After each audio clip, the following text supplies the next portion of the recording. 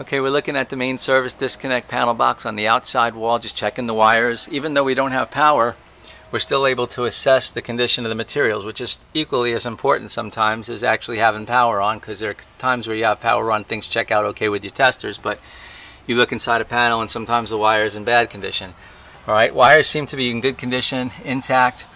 Uh, the connections, a little bit of corrosion here and there, but very minimal. Um, an electrician could probably just clean this up in, in uh, no time at all. But overall, the installation looks good. Uh, the wires look good, and it looks correct. So I'm going to say your main panel is in good condition. The components inside are in fair condition.